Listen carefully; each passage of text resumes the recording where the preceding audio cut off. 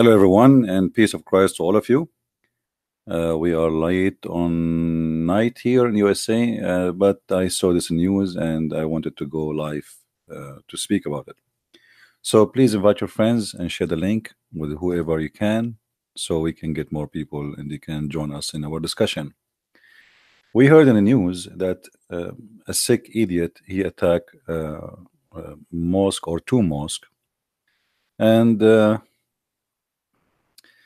like uh, you know first the news they said he killed 29 people but obviously they were doing their share in false news. Uh, it looked like there's only about nine victims which a lot actually. It's not just I mean but thank God it's not 29 but here you notice that you know the media is encouraging such such a cowardly attack to be uh, exist uh, if you if you see the news you will see this guy he is proud about himself. He go in his car. He is recording himself. Actually he's doing live streaming in Facebook. And he is proud about being supposedly what he think he is a hero. And obviously this guy and many of him they will do that again and again because they are looking for attention. There's many people they do crimes just for attention. You know they have a, a special pleasure of uh, being seen. Uh, and the media actually look like they they are encouraging such a crimes to happen. Uh, you know yesterday I was talking about atheist and I just said the the word filthy atheist. Filthy. Not filthy. Silly silly sorry. Silly atheist and then I got a strike from YouTube immediately. I mean, I mean, how fast they can know and how fast they are just to be angry and upset from somebody just said the word silly or my title says the word silly. So for silly and not only that, they strict the age of the video. Like the video suddenly became adult video as if we are talking about having uh, porn. And here you notice I post in Facebook a post uh, uh, ex exposing uh, uh, racism in Islam, where it says a black person, uh, uh, angels always white, and the devil is always black, and I say this is stupid, and then Facebook restrict me from 30 days from posting for fighting against racism. Yet Facebook, anyone can go, he can take his guns and he can go live and they will not even notice you. And he starts shooting people. I mean it, like uh, there's no way when this guy was doing that nobody was reporting immediately uh, to Facebook uh, uh, uh authority about what's happened. Uh, but obviously I mean they have their own agenda and they are they are sick the same as the criminal who did this crime.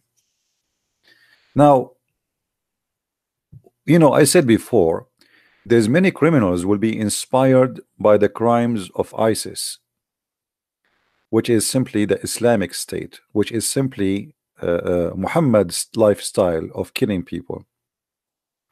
We for sure condemn killing any person who is innocent any person who is unarmed Muslim Christian Jew Hindu atheist doesn't matter.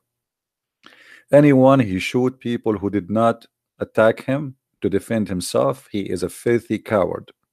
Anyone who attack like you know if you attack a soldier at least I mean he's a soldier and he's armed but what kind of honor for a man he claimed to be a hero? He attack a bunch of people who have not not even little knife in their pocket. I mean how cowardly how I, this very disgusting creature seeking attention and he is uh, trying to uh, uh, you know obviously those people they have they have mental issues. And I believe most of those criminals are inspired by ISIS. ISIS when we say ISIS we are talking about Muhammad himself. If you remember Muhammad he to commit many crimes exactly the same as this attack in the mosque. As an example what the difference between attacking those people in the mosque and attacking those people who they are watering their animals as we see in front of us Nothing. people people going to mosque they are harming nobody. They have their religion. We don't agree with it. We debate them peacefully.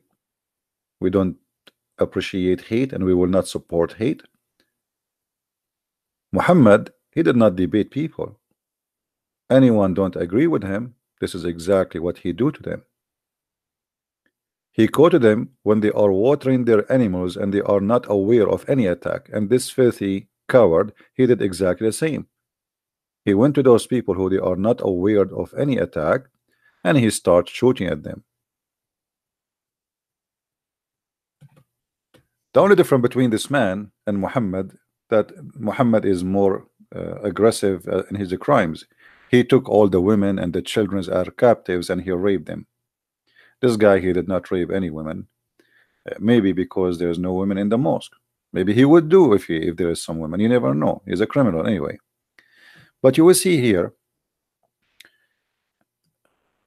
uh, a famous criminal can be an inspiration to many future criminals. Many of those who watch ISIS videos they are inspired they did not go to school to learn you know how to do this thing they see videos. Videos these days is a is like a school for criminals. Uh, today you will see someone he do attack like you know uh, uh, we saw tons of attacks hundreds you know I mean uh, like the Muslims actually they are facing a lot less attack than anyone else in the world usually it is the opposite would happen this is very rare so when when somebody he attack a Christmas market and he go over hundred of people in the street by a big huge truck he is inspired by who? We can say by ISIS. But ISIS inspired by who?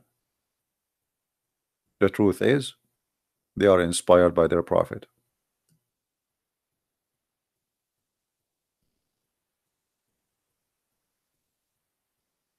However, for us, we as a Christians, we should always stand against violence and against hate, and we should expose it. And if you ever feel somebody, he is, uh, he have like uh, uh, attention to hate or uh, violence, stay away from him, and even you should you better report him to the authority to stop him before he commits a crime because if you know about a crime is going to happen and you know this is really is going to happen like he said to you uh, oh I'm going to go and shoot some people. Doesn't matter who they are Christian Jews Muslims doesn't matter.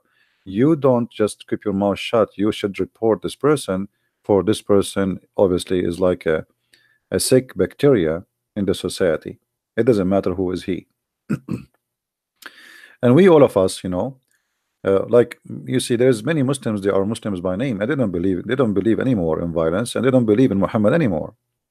So we you know we we who against violence doesn't matter who we are. We should always stand against it because violence will hurt you not only will hurt me. If you think violence will go and stop in a place you are mistaken. You know life is like a mirror and violence bring nothing but violence and hate bring nothing but hate. Uh, you know there's one of the saints I wrote um, I don't know Rick uh, I don't remember his name. He said uh, hate is like a poison kill the one who have it you know but like as like you are drinking your poison because you have it in your heart. So hatred uh, is very very sick disease and very dangerous. And the first thing it does it kill the one who have the hate in his heart. This is why we as a Christians we have a better life. And uh, you know the first thing the Lord he said to us for you know before we ask the Lord to forgive us we say this I mean forgive to us the same we forgive to others which mean it's required for us to forgive to others before we ask for forgiveness for ourselves. Otherwise you don't qualify for asking the Lord for forgiveness. And forgiveness all is about love and not about hate, because there's no way somebody he still hate and yet he forgive. uh, always be careful and not to be driven by somebody want to take you into hatred you know like you see uh, one of the struggle we as a Christians in the Middle East we suffer from that we we are under a lot of discrimination so now you in your life you struggle. Should I hate them? They are discriminate me. They are you know I'm not equal you know they are they are insulting me publicly. They are etc so what we should do? You know the the the wisdom of the Lord is amazing. It always keep us in balance and always we are victorious. After all the discrimination Christians in the Middle East they are the best example of successful family successful businessmen successful life successful lifestyle they are successful in every way. If you go to any country have a Christians in the Middle East you will find that the percentage of mm, university graduate doctors engineer lawyers of Christians is extremely high while it is extremely low from the other belief which is Islam. So how the minority who are discriminated they are the most successful? Simply because the life which is inspired by Christ make us different make us successful. Even after discrimination our life is blessed and most of the time uh, you know uh, uh discrimination can your life like really even better. Because I, this is what I noticed by the way. Like a Christian who is discriminated is a better Christian. And you will notice that the glory of our church our, our fathers was when they were discriminated and even killed not when the church is comfortable. The more they discriminate us the more we are stronger strong in faith and even we are able to bring more people to Christ. You see during the time when the Roman they were feeding us to animals and tigers the Roman with all the the violence they use against us which is extreme violence after all the violence they could not stop Christianity. So don't don't be part of hate religion because if you do that then you are not a Christian no more. Now this guy obviously he is not a Christian and I don't know what's what he believe in sound like weird guy but he obviously he have a mental issue. Sometime you know if you remember the guy from Norway, he, you know, he went to the park and he started shooting at immigrants. All those immigrants, they were uh, Middle Eastern Christians, most of them. Maybe we can say 85% Middle Eastern Christians. Just because they are immigrants, so we shoot them, you know. Very ugly, very, very, and very stupid too. You know, very stupid. It's not, it's not even like. Uh, Sometimes you ask yourself, I mean, what, what, what, okay, what you accomplish now? Here we go. You will spend the rest of your life like a rat in jail if you are not going to be executed. Actually if I am if I am in charge of government I will execute this guy immediately and I will make an example of him you know by law for sure not like you know as a criminal too. By law you know if the law allow execution this guy should be executed immediately to make an example of him for those who try in the future to kill innocent people. It doesn't matter who is this person. Like you know uh, you see now ISIS they are captured and Trump is asking European to take them. I mean, how how silly, how stupid. Those are criminals. What do you mean to take them? Why, if somebody kills somebody, he's going to be executed, but those ISIS are not going to be executed, and now you want to send them home? Very silly. I mean, uh, the system we have in government is very silly and very stupid. They are treating them as if they are, you know, like respected soldiers. Uh, we need always to be careful and we need our always to balance ourselves and not to be like Muhammad. Never be like Muhammad. Never do what they do. Don't go down to that level because then if you do you become satanic. You see we as a Christians uh, we should defend ourselves you know I know like some churches they teach you that Jesus he turns said turn the cheek. But this is not about you know about defending yourself no. This is about you know take take the law use the law. Uh, but let us say uh, you live in a country and your country is attacked. You as a Christian you have duty to defend your country. A Christian who defend who don't defend his home he is a cowardly person and he is no he is no Christian a Christian who don't defend his wife. Imagine somebody want to rape your wife. What do you do? You pray for him? You say Jesus says love your my enemy? This is not what Jesus taught you. The Bible is full of example of teaching you what you should do. So you know yes the Lord is is is, is the Lord of peace but criminals always should be punished. And this guy is no different should be executed according to the law if the law is allowing that you know in the Bible if a person he killed he should be killed. This is a criminal. He killed innocent people. They did nothing wrong to him and he have no reason to do what he did. Like it's not somebody even killed his somebody from his family or something. He's just an idiot you know trying to get attention boosting himself and he's happy like you know oh yeah let me let us let the party started. Even he said I, I think in the video he said let the party started. Look how how disgusting he is. This is party for him so uh, the problem the problem is uh, we need we need a better law all around the world. Those criminals should be we should not give them a chance to live and stay in jail for 20 years and then after that they go out. A person he killed now nine people he will go out after 20 years? That's not fair. There's nine people in the grave right now and then this guy he will go to jail for 20 years. Why? Because the law of the country uh, says uh, we don't uh, support execution. The law should be changed because this is not a fair law.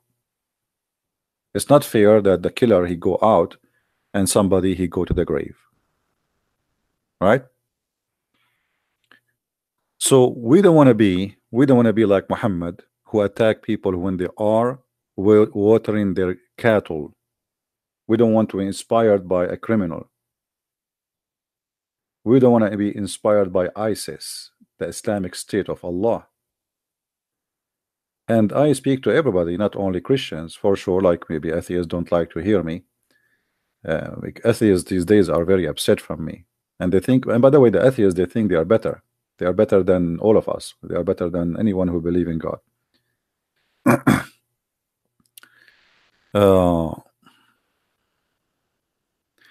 somebody says Jesus will not support death penalty my friend look like you did not read the Bible isn't it the Bible says the one who killed an innocent man should be killed where do you get this from that Jesus will not support isn't it Jesus he said the one who lived by the sword die by the sword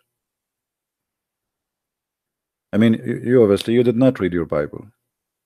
Jesus said, "The one who live by the sword die by the sword," which means justice is if you kill, you will be killed. That is what Jesus is saying. Unless you are saying the Bible is not our book no more. No, the Bible support death penalty for criminals. Absolutely. And this is absolute justice but you know we understand that every country have their own law and they take uh, you know we can you cannot we cannot force a law on them people they vote for their own law and they decide what it is going to be best for them but I believe that the best law is that a criminal who kills especially when he do commit mass murder especially if it's a hate crime or uh, you know uh, uh there's nothing can be justified about it you know? Then this guy should be you know should deserve death. Right? Uh,